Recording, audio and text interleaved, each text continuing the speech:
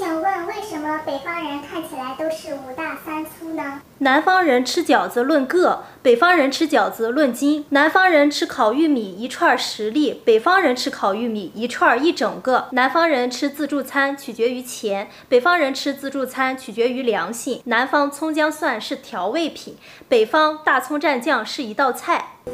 南方人买菜给我来两个番茄，北方人买菜这白菜不错，给我来五斤。南方给酒取名字叫啥？桃花酿，是不是一听就很秀气？北方给酒取名字二锅头、烧刀子、闷倒驴，是不是一听就很上头？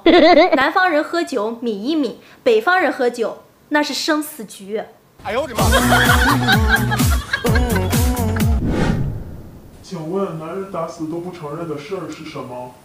男人对自己女朋友的闺蜜都有过想法。那如果我女朋友跟我说她闺蜜要加我，跟我说点事儿，我怎么办？你正确的回答方式是：宝贝，咱们拉个群吧，我这儿不方便。